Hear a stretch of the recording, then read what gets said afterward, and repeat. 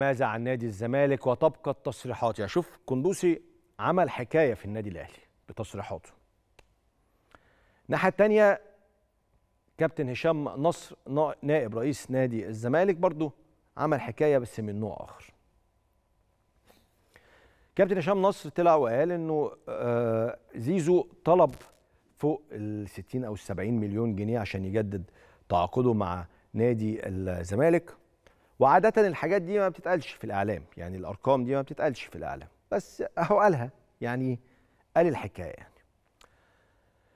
التصريحات دي أزعجت والد زيزو اللي هو وكيله يعني. أزعجته جدا وطلب توضيح من الكابتن حسين لبيب وقال له نصا. قال للكابتن حسين لبيب نصا. والد زيزو قال للكابتن حسين لبيب التالي. لو مش موافقين على مطالبنا قولوا لنا بشكل نهائي عشان نعمل حسابنا وناخد خطوات بعيد ما نتح... بعيدا إن إحنا نتحط في مواجهة مع الجمهور أو مع الإعلام. والد زيزو قال للكابتن حسين لبيب إن ابنه ضحى كتير وعلى الأقل ما ينفعش يتقال عليه كده في الإعلام خاصة إن زيزو ما استغلش أي نجومية ليه أثناء التفاوض. في المقابل المحترم المحترم بكررها دايما يعني كابتن حسين لبيب أكد لوالد زيزو ان هناك جلسة هتعقد معه ومع آه، زيزو بعد السوبر المصري وهيتم من خلالها حسم الملف نهائيا. في يا جماعة الموضوع بتاع التصريحات الإعلامية دي خطورتها إن عاملة زي الطلق كده لما بتطلع خلاص هتصيب ما بترجعش. الكلمة مسؤولية. فكرة الكابتن هشام نصر من الشخصيات المحترمة جدا بالمناسبة يعني. جدا. بس خطيرة. يعني ممكن فجأة تلاقي نفسك رحت في حتة ثانية خالص. ممكن تلاقي زيزو مثلا يقول لك لا والله أنا ما خلاص ما مش عاجبني الكلام ده أنا حاسس كده هبقى في مواجهة مع الجماهير طب أنا مش أحسن. مثلا يعني. رغم إن أنت بتبقى واخد خطوات لقدام. أقول لك الحكاية دلوقتي بالنسبة لزيزو إيه؟ وهقول لك توقعاتي. الحكاية بالنسبة لزيزو 50 50 يكمل مع الزمالك أو يمشي. توقعاتي ال 50% إنه يكمل مع الزمالك دي هتزيد جدا الأيام اللي جاية. وأنا أتصور وأتوقع ان نادي الزمالك مش هيسيب زيزو. وزيزو عنده رغبة إنه يكمل مع نادي الزمالك. طيب كريم 60 70 مليون جنيه في الموسم إيه الأرقام الكبيرة دي؟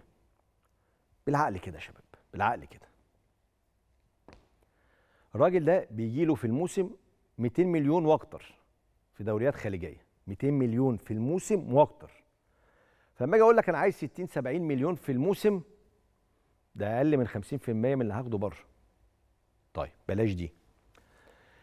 نوعية زيزو ده لو هو لاعب أفريقي مثلا ولا لاعب أجنبي وحبيت تشتريه هتديله في السنة كام؟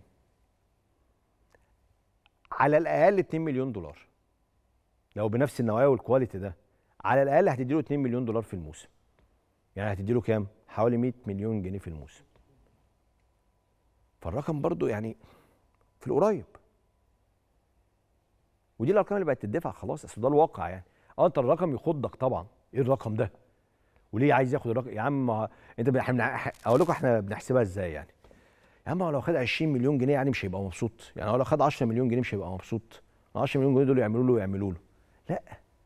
أنا راجل مدتي في الكورة مثلا 3 4 سنين في البيك وبعد كده مش هاخد فلوس أصلا من أي حتة. فآخد قيمتي دلوقتي. يعني أنا مقيم سعري بكذا. فآخده ببساطة يعني. مش لازم بقى ياخدهم بالظبط من نادي الزمالك. يعني مش هو مثلا في الخليج 200 مليون جنيه فيقول لي الزمالك يدوني 200 مليون جنيه ولا لأ. بنقرب المسافات. الزمالك اداك كتير قوي وانت اديت للزمالك فتعالى نشوف حل وسط كده. بس وسط. لحد يخسر من الاثنين يعني. وإن كان زيزو في كل الأحوال بحسبة فلوس خسران. بس كسبان حاجات تانية بقى.